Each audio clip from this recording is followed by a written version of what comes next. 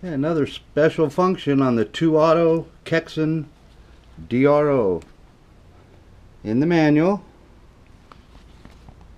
special functions, talks about linear drilling and how to carry out linear drilling, the parameter it needs, the two different modes of drilling. You can either drill by length or you can drill in a step mode and they give you a little couple diagrams here.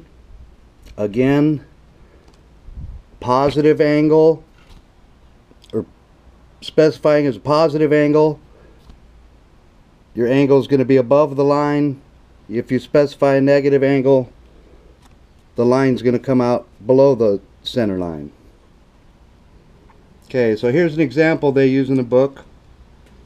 We want to drill a hole drill a series of holes in a line 60 millimeters long at a 30 degree angle.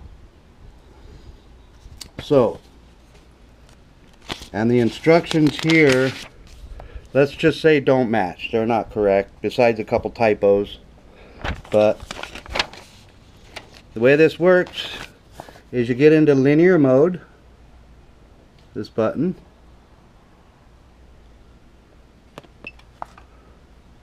It's always XY. Okay, so we want to check the length mode, not the step mode. We're going to do length. So we go to length, we select length.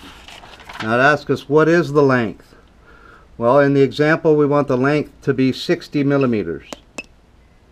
We enter that. Go to the next field. We want it to be at a 30 degree angle and we want four holes. So just like before, we're zeroed in the part. I'll show you over here. There's zero right there, that black dot. So we go to the second hole, arrow down. And we zero our axes. Okay, I'll do it once.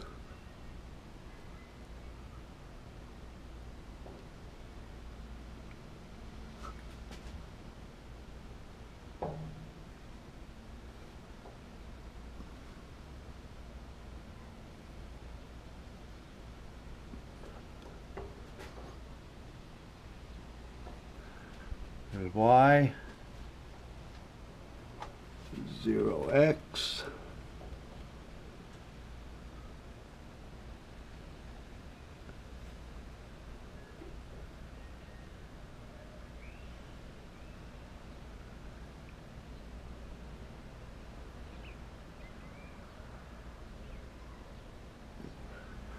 and number two. So go down and mark that. Now that hole, there's light is washing out. So that hole ends up over here. That first hole off at a 30 degree angle. And we hit down arrow. And we go again. Now notice Y is stepping in 10 millimeters at a time and X is stepping at 17.32 millimeters at a time. Okay, so we continue those holes out. It takes the four lines, or the four holes along this line. One, two, three, four. Okay, let, let's make a straight line. So we just exit out of there, assume I moved it back to zero. It's always XY.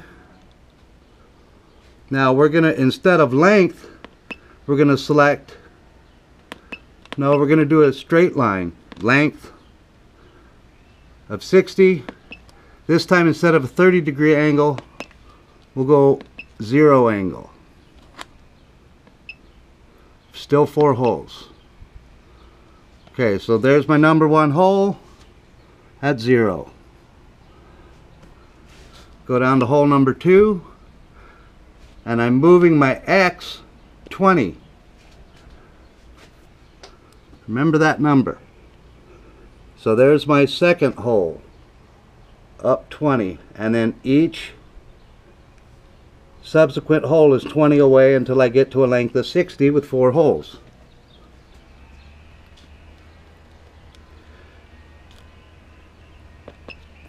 We can exit out, assume I'm back to zero. Now let's try that negative angle. So we get back into the function. It's always xy. We're going to go length. My length is 60. Now this time we're going to try a negative 30 degrees. Still four holes. And what we go is zero. There's my zero. We go to the second hole. And now instead of a positive number on my y, I've got a negative number. So I'm going the other direction. If you plot that out on the part, there's my zero. There's my second hole. I'm up off on my vise, but there's my third hole. And there's the fourth hole. So with a negative, you're off below the line. With a positive angle, you're above the line. Okay, we can exit out anytime. Now let's check out the step mode of this line function. Bring up the function. Now we're not going to do length this time, we're going to do step.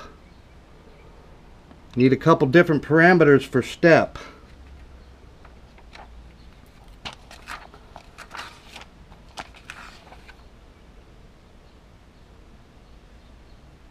As in length, we gave it the length of the line and the angle of the line and the number of holes.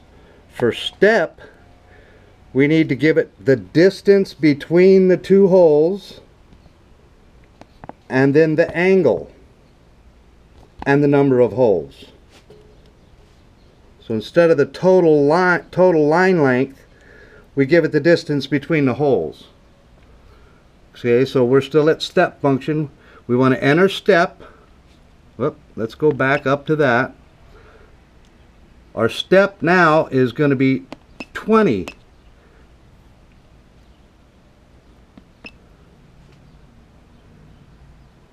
And you get that value from you're drilling on a zero degree linear line and the length was equal to 20. So you carry that over to step, make the value of step 20. Your next one's the angle, so we're going to go positive 30 degrees. Still four holes. And the number one hole is our center hole. And now when we down arrow to the second hole, you'll notice that the numbers here are the same as they were when we did the linear mode. So that tells you it works. And then you can down arrow and it's just adding adding 17.32 to X and 10 to Y each for each hole.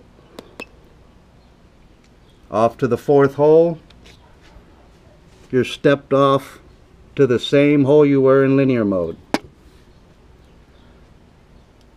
So again, if you come up with something weird, check your direction of your x-axis. If you're going off in the wrong direction, according to the DRO, go into settings, change the direction of your axes, and try it again. You'll end up with better results. Good luck.